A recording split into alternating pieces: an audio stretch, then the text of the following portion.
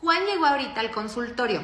Él es hipertenso y traía a su llegada la presión en 162 sobre 105.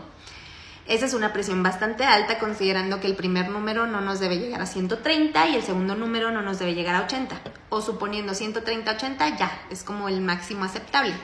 Bueno, llega él con 160-100 y luego este, me dice, mm, la verdad es que tomo losartán, dice con hidroclorotiazida, pero pues no me lo he estado tomando la última semana porque la verdad es que ya estoy bien cansado de tomar pastillas. Y yo, ah, ok, le digo, no, no toma pastillas. Bueno, le digo, ¿y hay algún motivo? ¿Efectos secundarios? ¿Le provocan? No, no, dice, nada más es que me fastidia. Y yo, bueno. Imagínese que usted tiene una plantita. Para regar esa plantita, usted la riega con una, con una manguera, ¿no? Ok.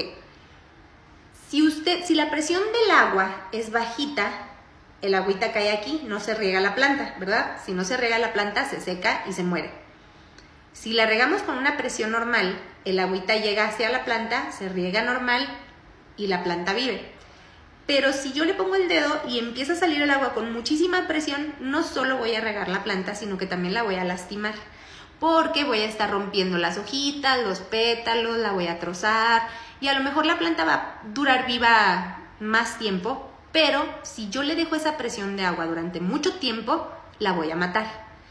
Exactamente eso es lo que pasa con nuestros órganos y la presión arterial. Imagínate que la manguera es la arteria, el agua es la sangre y la plantita es tu órgano, cualquier órgano, riñones, corazón, cerebro, ojos, lo que sea.